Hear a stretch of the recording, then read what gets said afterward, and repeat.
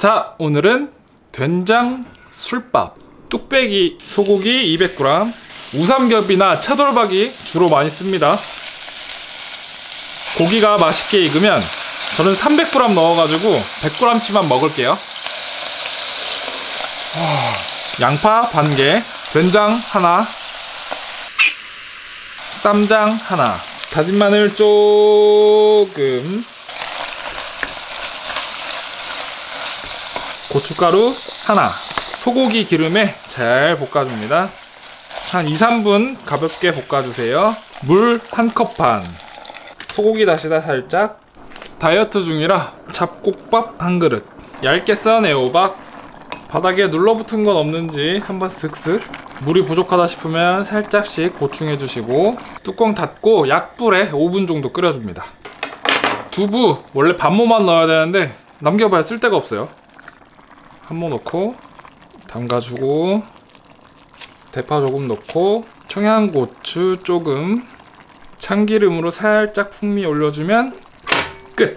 소고기 먹을 때 꼭 시켜 먹는 된장 술밥입니다. 예쁘라고 이렇게 둔 거지 원래 이렇게 섞어야 돼요. 단탄지가 아주 완벽하게 어우러졌죠. 수향입니다. 후추 후추 후추 후추. 이게 대부분 소고기집에서는 많이 파는데 안에 소고기가 들어가다 보니까 가서 사 먹으려면 돈 만 원 줘야 돼요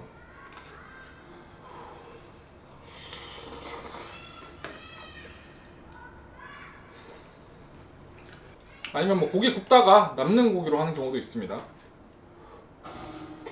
근데 그게 진짜 약간 감자탕 먹고 볶음밥 먹는 것보다 더 윗단계 그런 느낌이라 술을 한 두 병 먹었는데도 된장국밥 마지막에 딱 시키면 다시 시작할 수 있어요. 된장찌개에 밥 말아 먹는 거랑은 전혀 다른 느낌인 게 라죽이랑 같은 개념입니다 밥을 넣고 같이 끓였기 때문에 이 밥알에 쏙쏙 양념이 배 들어가지고 밥 말아 먹고 밥 비벼 먹는 거랑은 차원이 다르죠.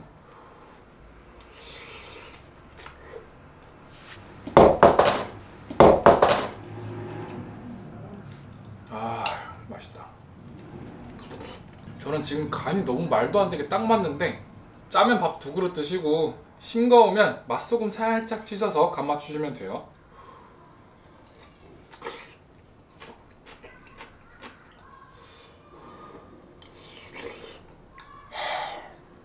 이렇게 양념이 센 요리를 할 때는 굳이 좀 비싼 한우 쓰실 필요 없고 뭐돈 많으면 써도 됩니다.